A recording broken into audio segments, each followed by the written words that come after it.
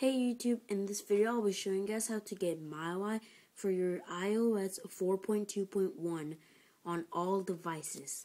And before I start the tutorial, I will be showing you guys that I am running on 4.2.1 on my 3GS.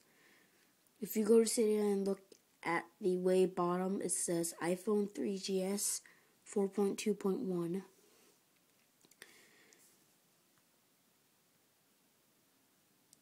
that, meaning that I am on 4.2.1, and I even upgraded mine to 4.3 beta, and didn't like it, so I downgraded. Alright, so what you want to do is you want to go to Manage Sources, Edit, Add, and you want to add this source. Repo dot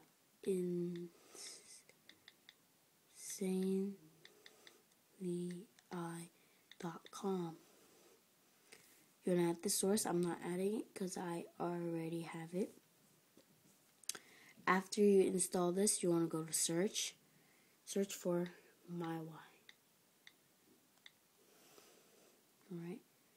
And you want to add this source, MyWi 4.0 with on demand from the Insanely repo.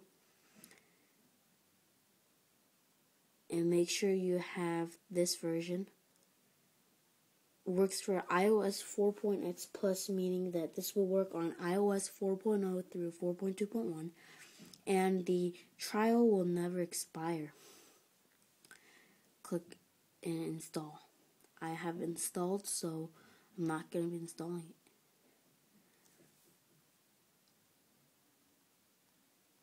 So, if you see here, I have MyWi 4.0 installed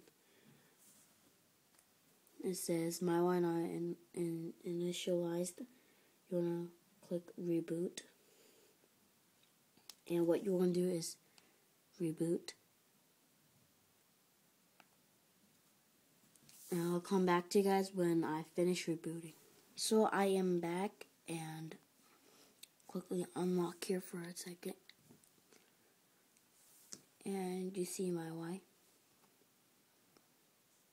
And there you go. It works perfectly, um, like how it would on all your devices.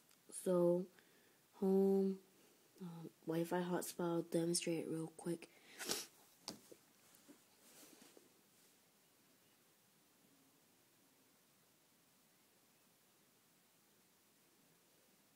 Alright, it works. Mm, shut that off. USB. So if I'm connecting this I iDevice, actually, never mind. Um, USB. USB also works. Don't have a USB to plug in, so I can't show you guys that. Um, Bluetooth works also. Yeah, there you go. So thanks for watching. Please subscribe if this video helped you guys. Bye.